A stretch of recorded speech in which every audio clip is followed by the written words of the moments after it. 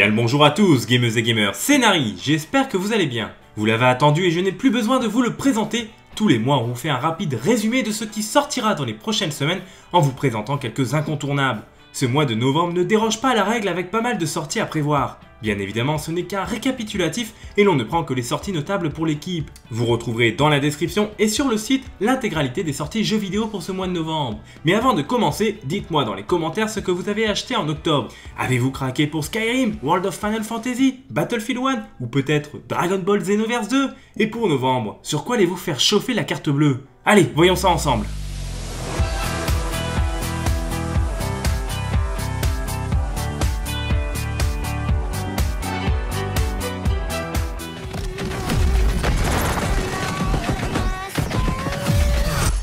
On commence par une grosse sortie et pas des moindres, il est temps d'aller se perdre dans l'espace avec Call of Duty Infinite Warfare qui débarquera le 4 novembre sur PlayStation 4, Xbox One et PC. A noter que si vous optez pour l'édition Legacy, vous aurez le remaster Call of Duty 4 Modern Warfare. Et quand on disait d'aller se perdre, on ne parlait pas bien évidemment de la licence Call of Duty qui s'était déjà perdue. Hein. Bon, troll à part, on a pu déjà jouer à Infinite Warfare et le jeu s'annonce quand même sympathique. Alors le verdict final ce sera pour le 4 novembre. Et vous, vous serez au rendez-vous?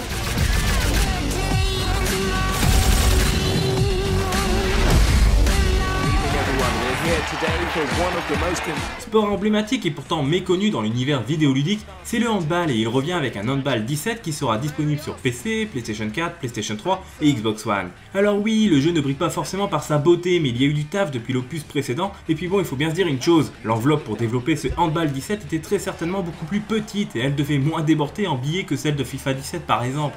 D'ailleurs, en parlant football, si vous préférez uniquement gérer et coacher plutôt que de vous prendre pour le Messi des terrains de football, sachez que Football Manager 17 sort lui aussi sur PC ce 4 novembre.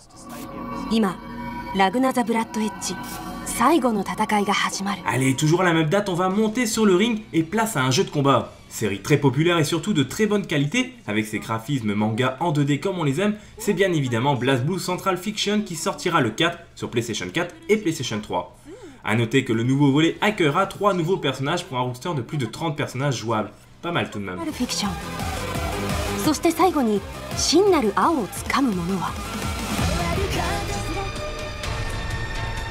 Encore du lourd pour ce mois de novembre et plus précisément le 8 avec une licence phare au Japon et qui fait également des ravages en France. Eh bien oui, Kirito et ses amis reviennent sur PlayStation 4 et PlayStation Vita avec un certain Sword Art Online Holo Realization. On en parle énormément en ce moment et le nouvel opus nous fera découvrir la douce et jolie première. Oui, c'est son nom, et un monde qui se prénommera Sword Art Origin, et ce dernier ressemble étrangement à... bon, on n'en dit pas plus. Regardez plutôt cette édition collector exclusive à la PlayStation 4. Elle est chante, n'est-ce pas? This world does not wish for other people. Which makes you come back to life again each time you die.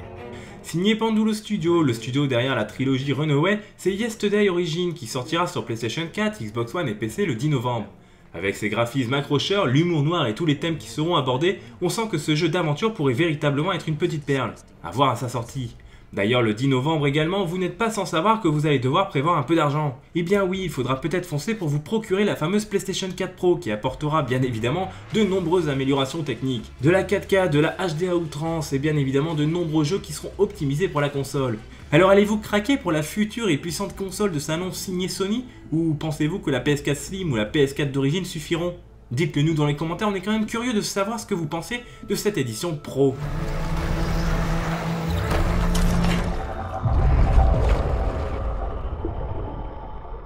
Pas moins de 4 ans après la sortie du premier épisode et d'une édition définitive il y a un an, la licence si chère à Arkane Studio revient avec un Dishonored 2. Cette fois-ci, les joueurs auront le choix de contrôler Corvo Atano ou Emily Kaldruin, l'impératrice qui devra d'ailleurs tout faire pour récupérer son trône suite à un coup d'état. Au menu de ce second opus, nous aurons de nouveaux pouvoirs à manipuler, mais également des niveaux à thème qui devraient apporter toujours plus de variété au titre. En tout cas, la réponse ce sera le 11 novembre sur PC, PlayStation 4 et Xbox One.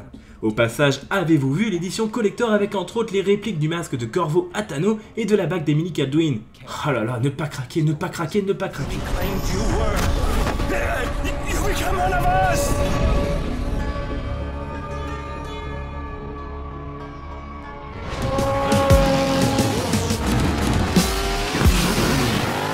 Ah, petit moment nostalgie et tout le monde se souvient de la licence Moto Racer qui était tout simplement indémodable. Pour ma part en tout cas, je me rappelle des opus sortis sur PlayStation 1 et que de souvenirs. Bien, la licence revient en 2016 et plus précisément le 13 novembre sur PlayStation 4, Xbox One et PC avec Moto Racer 4. Autant vous le dire, on a hâte de voir si la nostalgie fera son petit effet, sachant qu'il sera également compatible avec le PlayStation VR. 80s film buff, idealist, hacker. And this? This is my home. La licence d'Ubisoft, Watch Dogs est elle aussi de retour avec un deuxième épisode qui devra tout faire pour redorer son blason après un premier épisode clairement décevant? Adieu Aiden Pierce et dites bonjour à Marcus Holloway, un nouveau héros hacker accusé d'un crime qu'il n'a pas commis. A l'aide de ses amis hackers faisant partie du groupe DeadSec, notre protagoniste devra donc tout faire pour prouver son innocence et partira accessoirement en quête de vérité en utilisant notamment ses talents de hacker qui lui permettront de contrôler toute la ville. Ce qu'il faut espérer de Watch Dogs 2, c'est qu'il corrige les défauts de son aîné et que notre héros n'ait pas le charisme d'une moule péruvienne cette fois-ci. Rendez-vous le 15 novembre sur PC, PlayStation 4 et Xbox One afin de connaître la réponse dans notre futur test. Welcome to San Francisco. Well, well, look who it is. Et oui, bonne nouvelle pour certains, mauvaise pour d'autres, mais il n'y aura pas d'Assassin's Creed cette année, l'occasion pour le studio de peut-être justement se plonger sur un épisode un peu plus convaincant. Mais si vous n'aviez pas encore eu l'occasion de jouer à la licence ou avez justement envie de vous replonger dedans en HD, eh bien ce sera possible le 17 novembre avec la Assassin's Creed Ezio Collection prévue sur PlayStation 4 et Xbox One. D'ailleurs, et c'est plutôt une bonne chose puisqu'aux dernières nouvelles, on est clairement sûr d'avoir un futur Assassin's Creed en 2017 et puis bon qu'on se le dise, je pense que la licence avait besoin d'un petit souffle. and show him what it means to cross the assassin.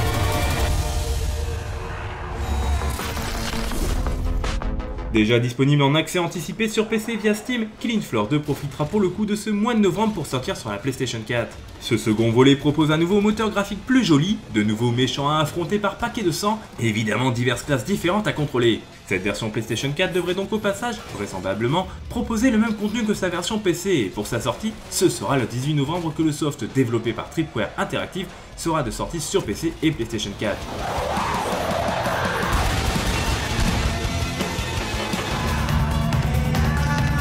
Grosse, grosse, grosse sortie pour cette fin de mois. Eh bien oui, ce sont Pokémon Lune et Pokémon Soleil qui sortiront tous deux sur Nintendo 3DS le 23 novembre. L'aventure se déroulera à Alola et l'on découvrira de tout nouveaux Pokémon bien sûr, mais aussi des formes Alola qui sont en fait des Pokémon que l'on connaissait déjà. Bon ok, ça fait un petit peu repompage, mais côté nostalgie, bah c'est assuré là. Surtout que ces nouvelles versions de Pokémon existants sont carrément classe.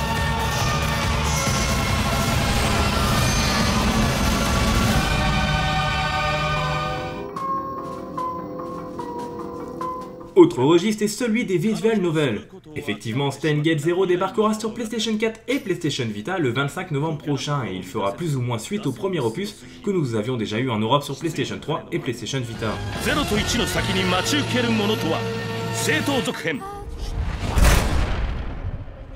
Et oui, comme vous l'avez remarqué, on a commencé avec une grosse sortie et on termine également avec une autre grosse sortie incontournable. Bon, clairement, le 29 novembre doit être une date inscrite dans votre calendrier depuis bien plusieurs semaines et ceux qui l'attendent ont les nerfs solides puisqu'il a eu droit à plus de 10 ans de développement. Vous avez compris de qui on parle?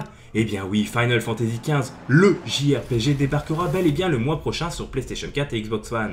Autant vous le dire, on a hâte d'effectuer ce road trip qui promet, paraît-il, plus de 200 heures de jeu pour tout finir à 100%. Si si, Hajime Tabata et ses équipes ne plaisantent pas. En tout cas, entre films d'animation, animés, éditions collector et tout ce qui s'en passe, on espère vraiment que ce Final Fantasy XV sera à la hauteur de nos attentes. En tout cas, les équipes de développement ont précisé qu'il fallait vendre plus de 10 millions d'exemplaires pour être rentable. Oui oui, ce sont de gros chiffres, mais l'opus semble prometteur et ce serait peut-être le jeu de l'année 2016. Quoi qu'il en soit, si c'est un échec, ben on a peut-être peur de l'avenir dans la franchise Final Fantasy, non?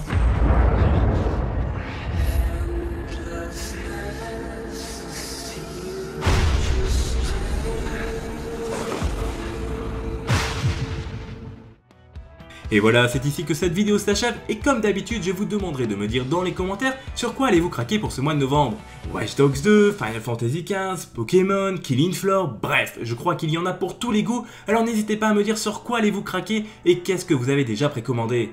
Allez, sur ce, moi je vous souhaite comme d'habitude de bien vous amuser et à bientôt pour de nouvelles vidéos. Allez, ciao tout le monde